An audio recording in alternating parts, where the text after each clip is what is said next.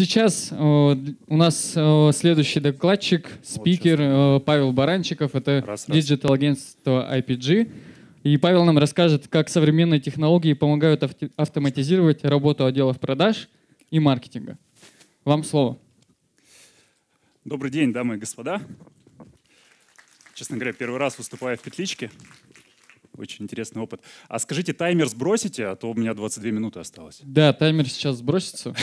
У нас есть волшебный человек, который это делает. Отлично. А желательно до 30 минут, если это возможно.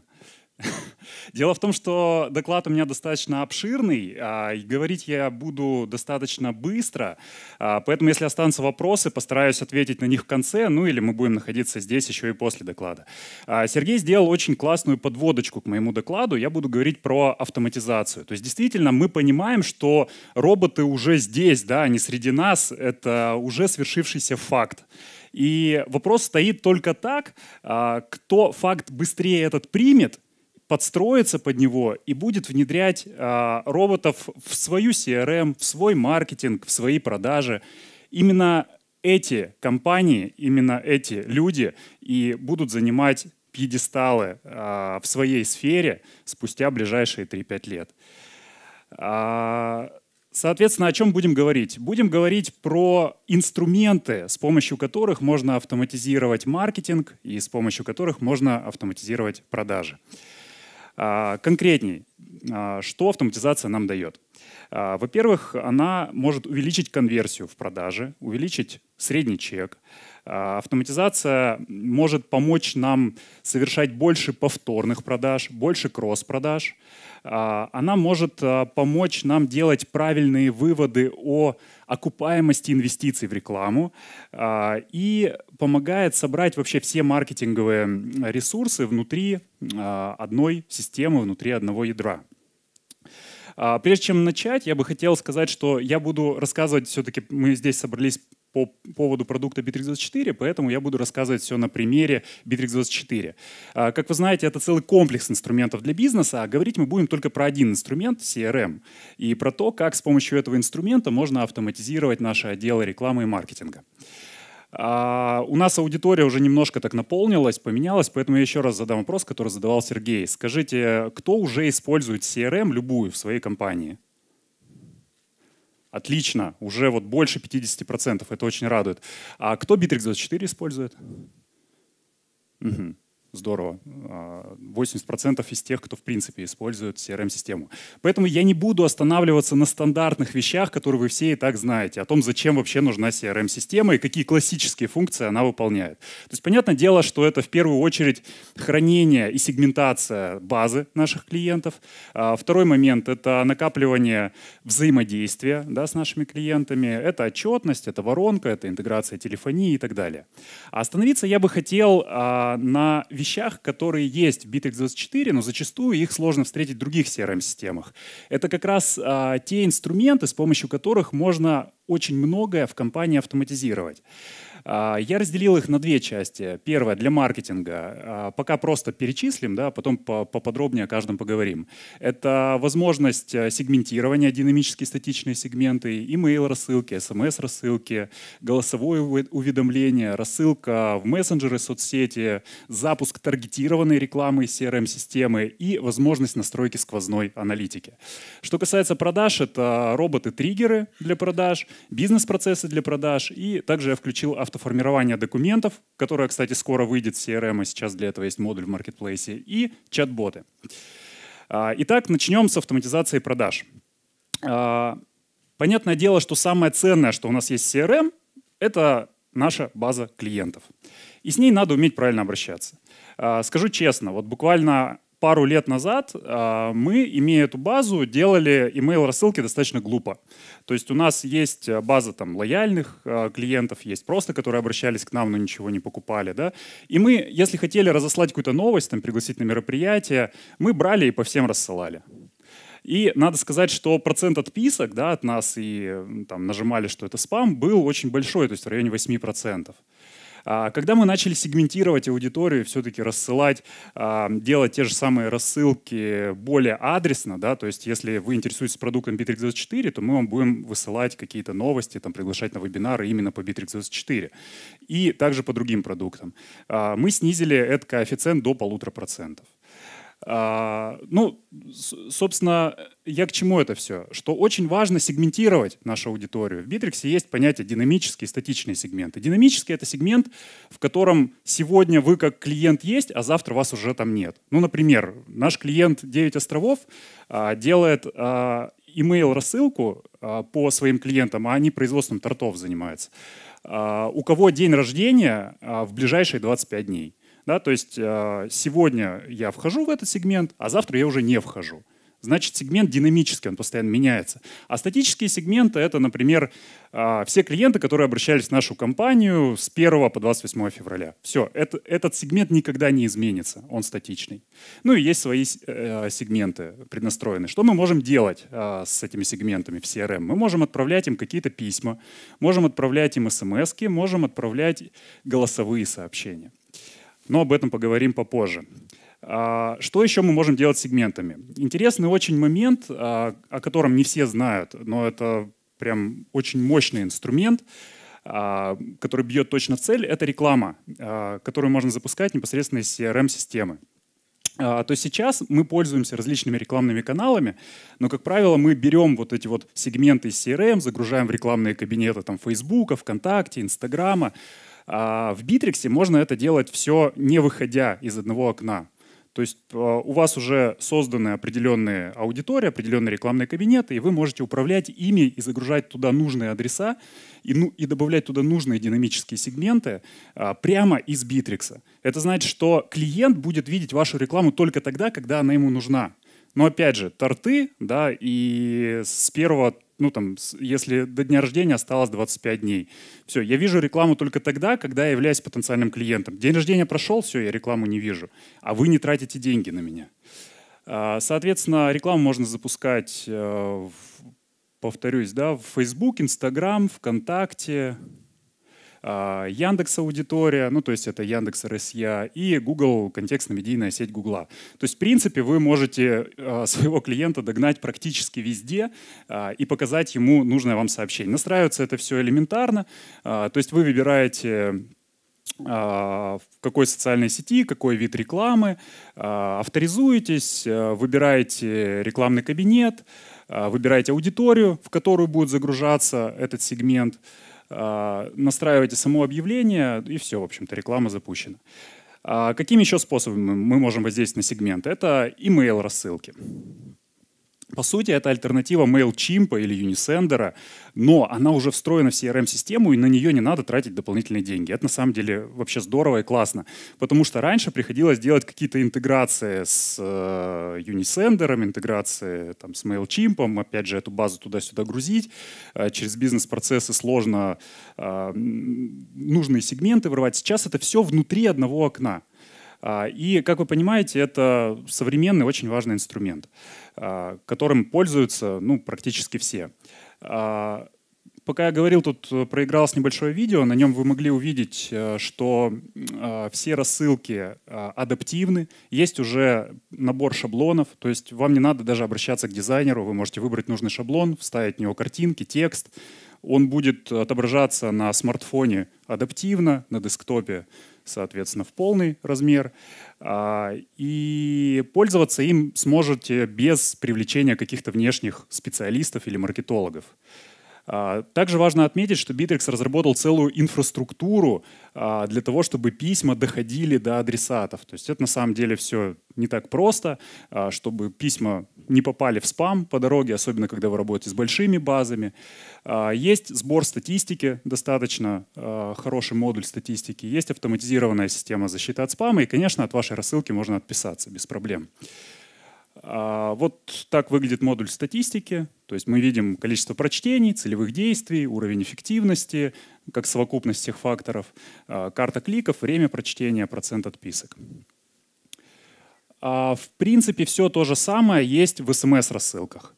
А, единственное, что они а, настраиваются все из CRM-системы, но вам надо подключить специальный модуль, который вы выбираете из маркетплейса, то есть с каким партнером вы будете работать, кому вы будете за сами смс платить деньги.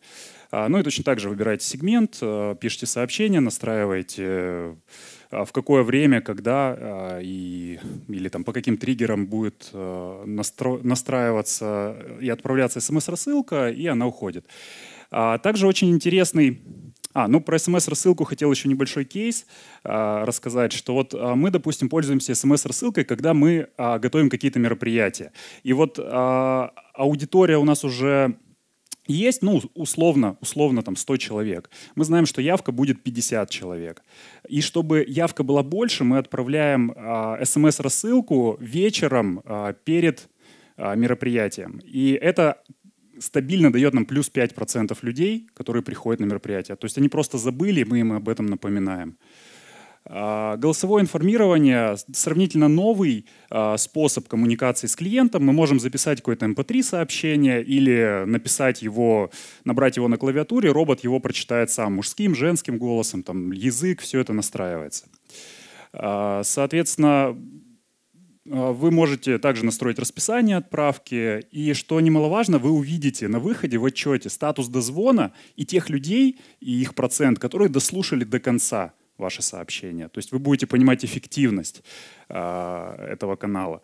Вот наш клиент, допустим, пользуется голосовым э, информированием также для проведения вебинаров. И тут очень интересный момент, что он достаточно известный спикер. И представьте, да, вот вы записались на его вебинар, вся Россия идет на, на его вебинар, а он вам сам вечером звонит и своим голосом говорит, э, собственно, там, привет, ты записан, ты там, пожалуйста, не проспи завтра, я тебя буду ждать. Это классно работает на самом деле и также повышает процент э, явки. А, ну и еще один способ коммуникации с клиентом автоматизированный — это сообщение в мессенджеры. Но тут важно отметить, а, что да, мы можем отправлять сообщения абсолютно практически во все менеджеры, у которых есть открытые API, но а, на ту базу, которая к нам как-то обращалась через открытые линии. То есть вкратце Сергей уже затронул момент открытых линий, дальше там коллеги еще будут рассказывать. То есть это инструмент, который позволяет написать в компанию через э, любой чат или социальную сеть. И вот если эти обращения в компанию были и в базе они зафиксированы, то мы можем и обратно сообщения тоже слать. И выглядит это вот таким образом. То есть во ВКонтакте это придет вам как личное сообщение. А отправить вы его можете по всей базе прямо из CRM-системы. Еще одна очень важный, важная вещь, которую вы можете подключить, это сквозная аналитика. А, здесь хотел задать вопрос. А, всем ли знаком термин сквозная аналитика? Кому он знаком? Ага, очень мало людей, да, то есть знают сквозную аналитику. Давайте тогда немножко поясню. То есть обычно рисуют вот такой айсберг, и э, сверху, вот где кораблик, это то, что видит обычный классический предприниматель, который использует там условно контекстную рекламу, SEO, таргетированную рекламу и Яндекс Метрику, к примеру, или Google Аналитику.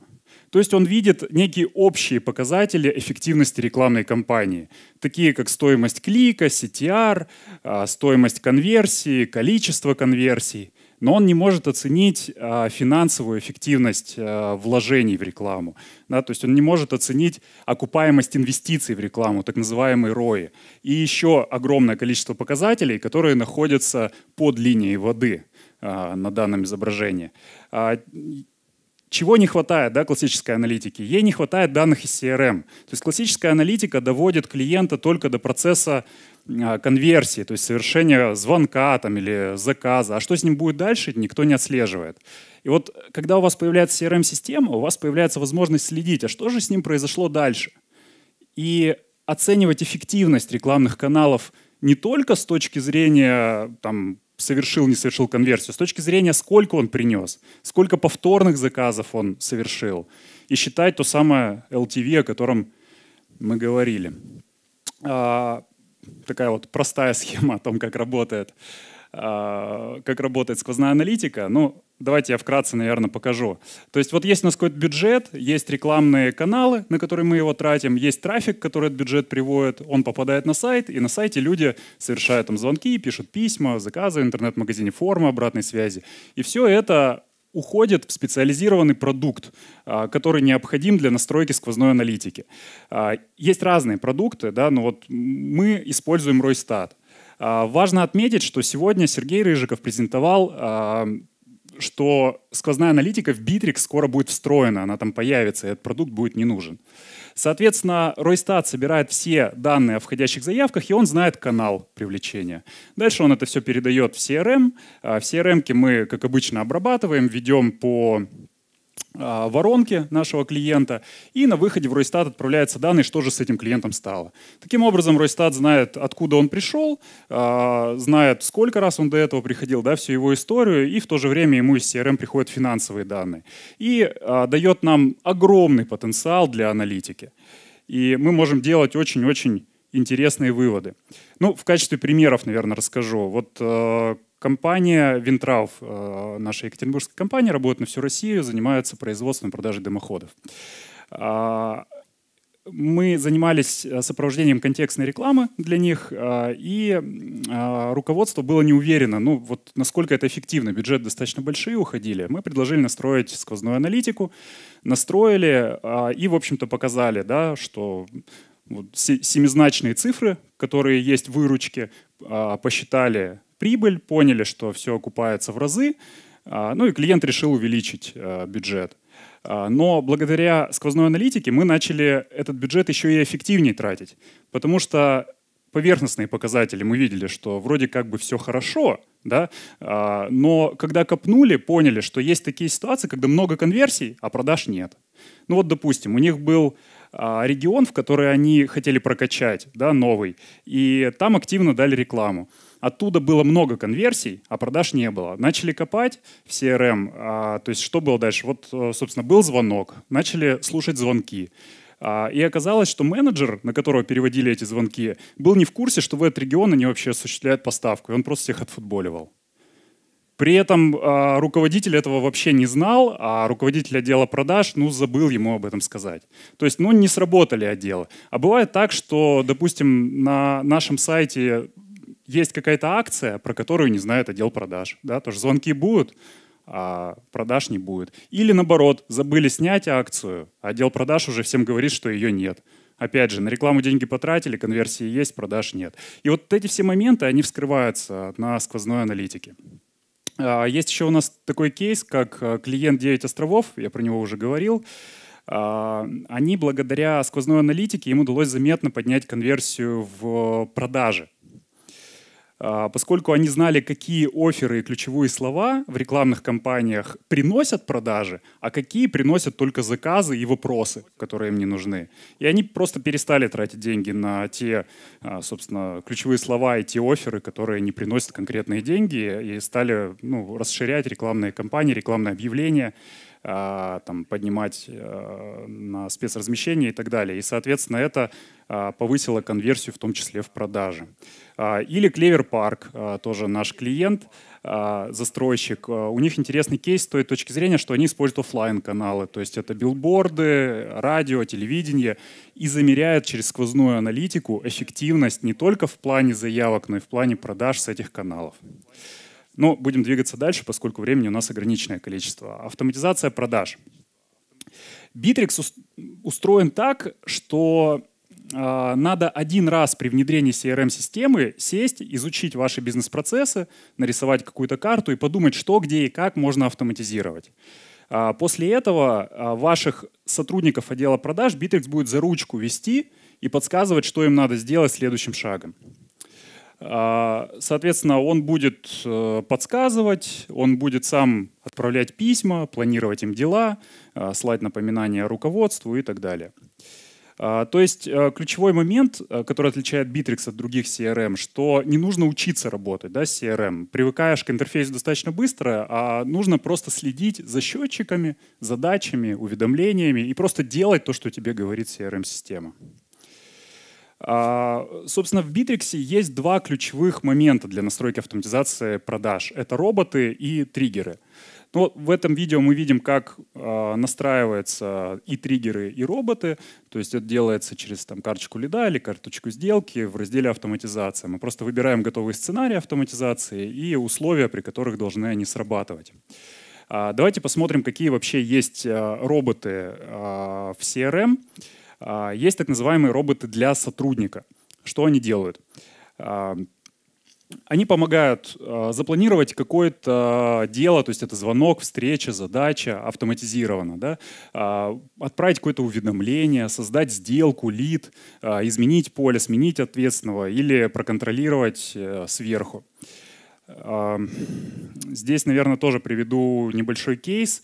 Э, делали автоматизацию в крупнейшем СРО в Свердловской области, э, и у них все основано на повторных продажах. То есть у них есть там условно тысяча клиентов, строителей, и эта база очень редко пополняется. То есть им надо как бы привлекать новых, им надо а, автоматизировать работу с текущими. А, и мы, соответственно, сделали, чтобы а, сделки каждый квартал создавались заново, а, счета выставлялись автоматически, и все это настроено с помощью роботов. Причем любопытно то, что сумма в счете зависит от ряда параметров в сделке.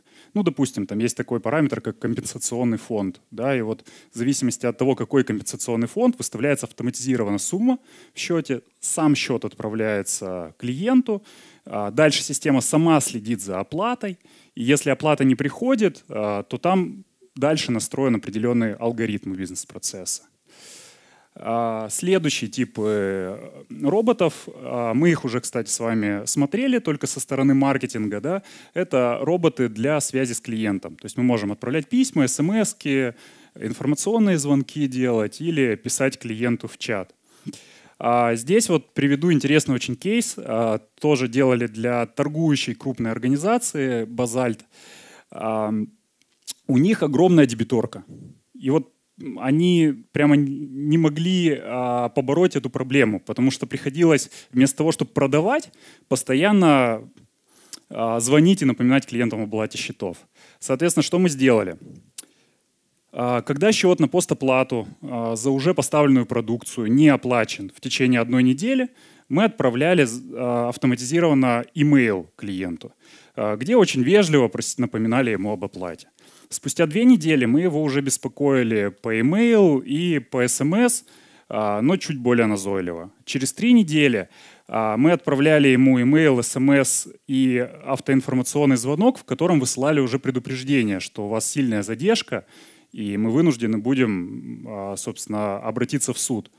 И через месяц Bittrex24 автоматически формировал претензию, документ, и отправлял а, ее на почту клиенту. Плюс информировал по всем каналам о том, что вам отправлена претензия, пожалуйста, отреагируйте, у вас есть 30 дней.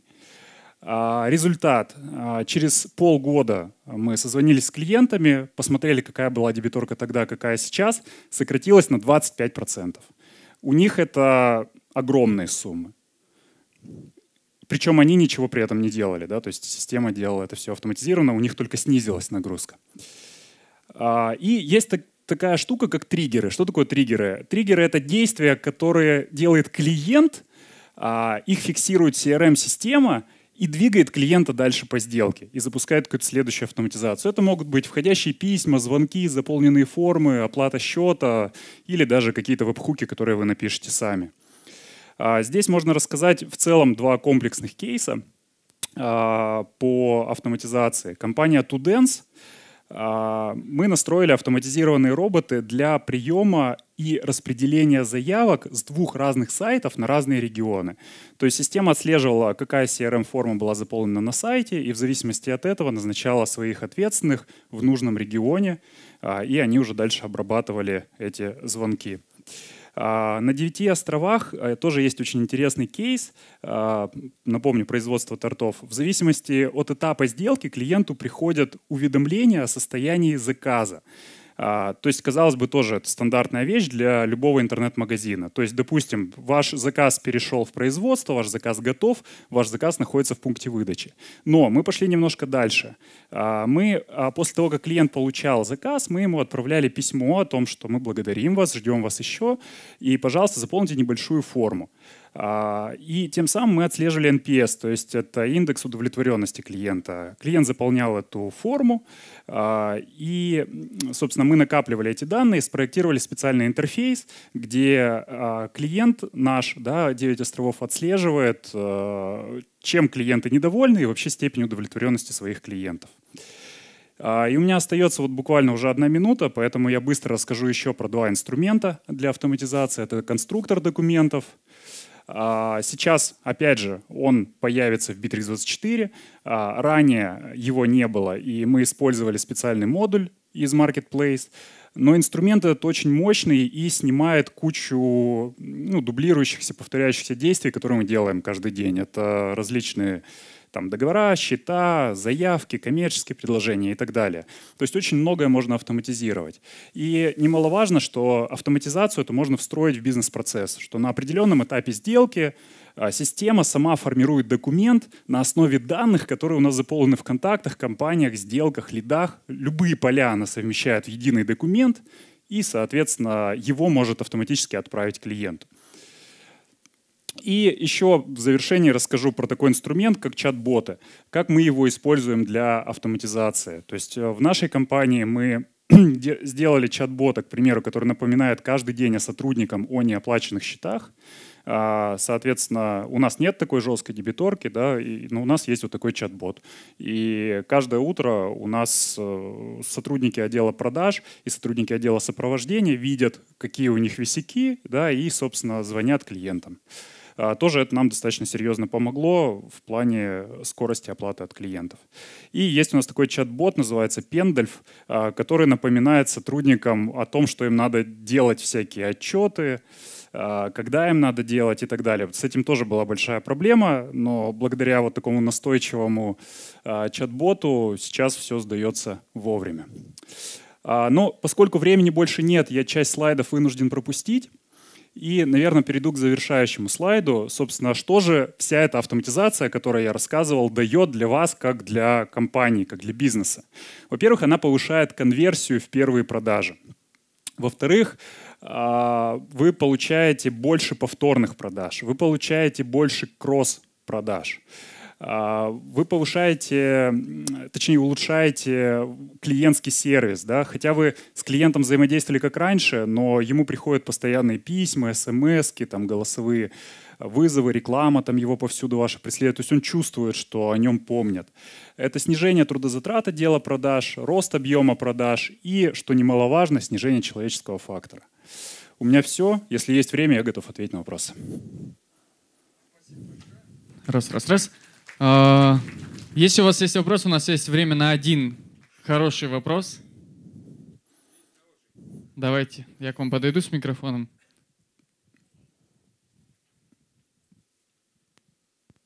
Будьте любезны, подскажите, как а, Битрикса Филлу превратиться в битриксолога, а, будучи предпринимателем?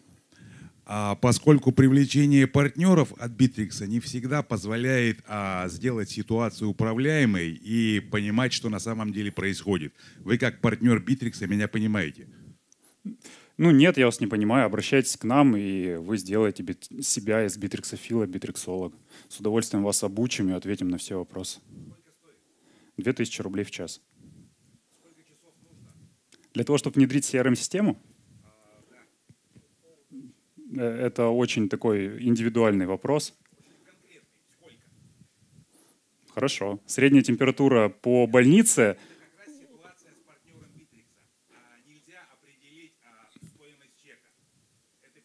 Можно э, провести встречу, а, собственно, брифинг, и после этого мы дадим вам четкую цену. Разбег цен на внедрение Битрикса, ну, условно, там, от 30 до бесконечности, от 30 тысяч рублей до бесконечности. Я вам предлагаю взять визитку Павла. Да, конечно, когда он спустится со сцены Спасибо и большое. встречу. А, спасибо большое, Павел.